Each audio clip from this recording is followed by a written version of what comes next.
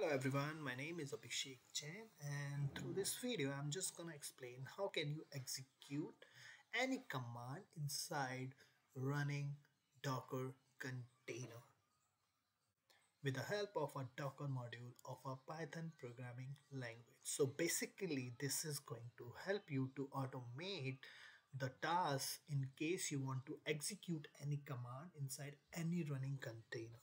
So with for the basic use of this Docker module, I have already published two videos and I have already provided a link into the description. So if you would like to see those two videos, that would be helpful for you to understand how this Docker module works. But if you are pretty much familiar and you are already interested in seeing how you can code how you can use this docker module to execute any specific command in any specific container then you can skip those two videos. So without any further delay let's get into the coding part. So i'm just gonna go. Uh, this is just a code which i have written in previous in last two videos. Uh, but let me just start uh, another one where i can just see exec command demo okay. So the very first thing which you have to do is there is a docker module named docker and if you are new to this video and you haven't watched my previous two videos then just this module is not comes with a default python installation. So all you need is pip install docker to have this module installed. I have already installed it so i don't need to worry about that.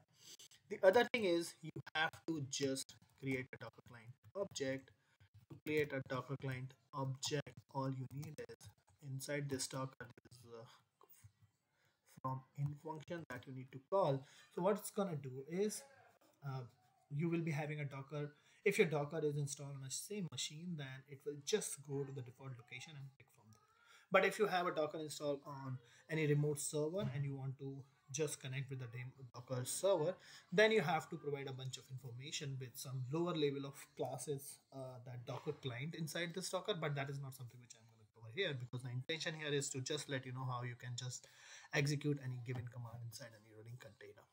So now you have a docker client object and then what you can do is just to make it very generic what i'm gonna do is i'm just gonna extract all the containers and let's assume that uh, I have a bunch of Postgres container and I want to execute and let's let's assume I want to create the table on all the all the instances. I want to insert something and I want to delete something or I want to update on all those containers.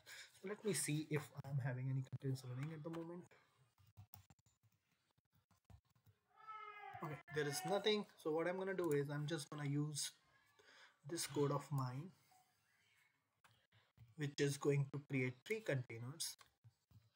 Postgres instance 1 2 and 3 so let me just run this before. So what this program is gonna do for us uh oh so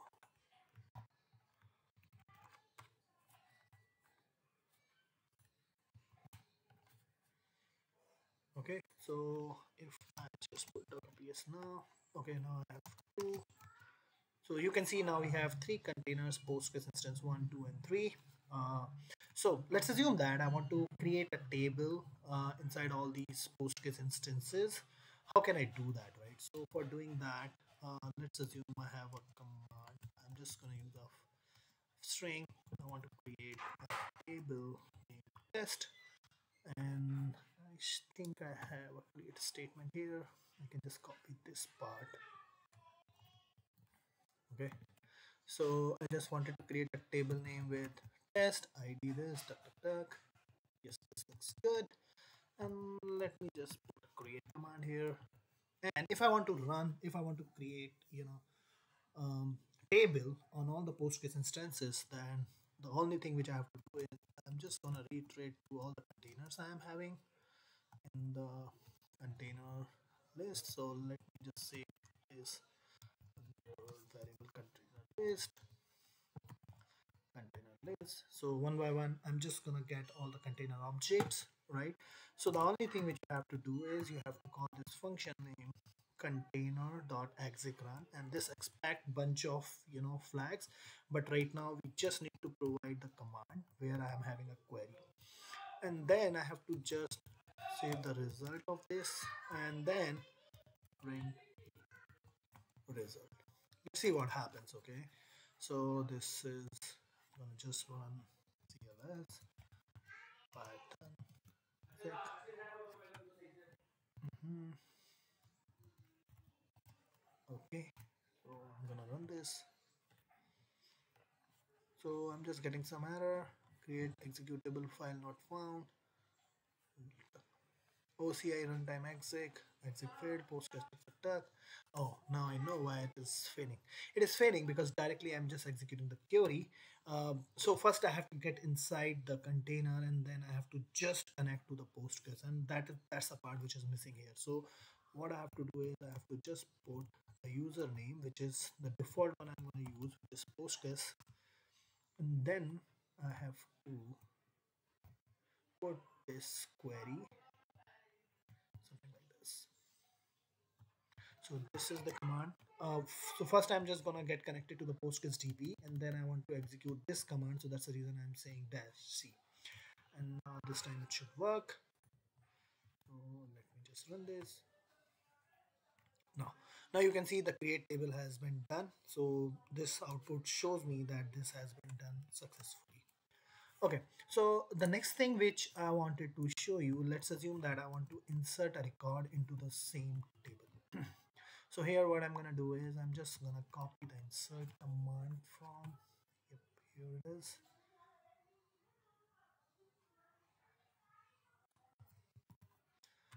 Okay so i'm just gonna put this insert command here okay?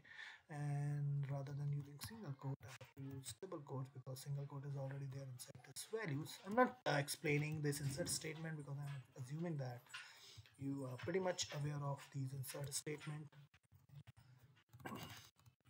okay so I just created another variable and this time I wanted to insert this record in all the Postgres instances. So let's see what happens. Okay so now I can see the record has been inserted. There is no error and let's assume if I want to select the records. So what I can do is I can select star from test. Okay so rather than running insert I can put select. And if I run it I should be able to see the records which I have inserted. Select command is not defined. Mm -hmm. okay I didn't change the name. So okay. So if I just run this time okay so it seems like it is able to extract the record. You can see we are seeing the zero and abhishek jain which are inserted in all the instances. So now we have covered that I mean how we can create the table how but this is postgres and that's the reason you are using this psql minus u postgres to make the connection and then you are running that query. Similarly if you want to run any command to any of the container right you just need to use this exec run and then you have to provide whatever the command you want to run inside that container similarly you can create your update query your delete query and you can just use the same piece of code and you are done. So that's it from my side which i wanted to cover in this video. But it's very powerful and you can just automate a lot of stuff if you are in devops world or if you are in a testing world right? So thanks for watching this. If you have any feedback or comment uh, or any suggestion through which i can improve my videos quality just feel free to put that into the comment section and i would do my best to incorporate those suggestions in the feedback. So as always thanks for watching this. Stay healthy and keep learning